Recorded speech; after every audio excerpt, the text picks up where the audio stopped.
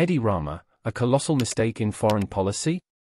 Edi Rama, the Prime Minister of Albania, has been accused of favoring Serbia over Kosovo in his foreign policy.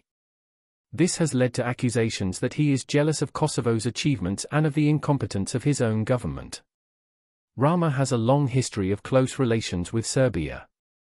He has been praised by Serbian President Aleksandar Vučić for his efforts to improve relations between the two countries.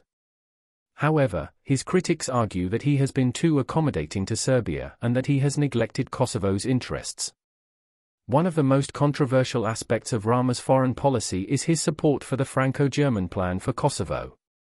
The plan, which was unveiled in July 2023, calls for Kosovo and Serbia to recognize each other as independent states. The plan has been welcomed by Serbia, but it has been criticized by Kosovo, which fears that it would lead to a partition of the country. Rama has also been criticized for his failure to support Kosovo's bid for membership in NATO. Kosovo has been seeking NATO membership for several years, but Albania has been the only country to support its bid. Rama has said that he supports Kosovo's membership in NATO, but he has not taken any concrete steps to advance it. Rama's critics argue that his foreign policy is motivated by jealousy of Kosovo's achievements and of the incompetence of his own government. They point to the fact that Kosovo has made significant progress in recent years, while Albania has lagged behind. Kosovo is now one of the most democratic countries in the Balkans, while Albania is still struggling to address corruption and other problems. Rama's supporters argue that he is simply trying to be pragmatic and to find a solution to the Kosovo-Serbia conflict. They say that the Franco-German plan is the best chance for a lasting peace in the region. It is too early to say whether Rama's foreign policy will be successful in the long run. However, it is clear that his approach to Kosovo-Serbia relations has alienated many Kosovars. It remains to be seen whether he will be able to mend these relations and to build trust with Kosovo's leaders. Is Edi Rama jealous of Kosovo's achievements? It is possible that Edi Rama is jealous of Kosovo's achievements.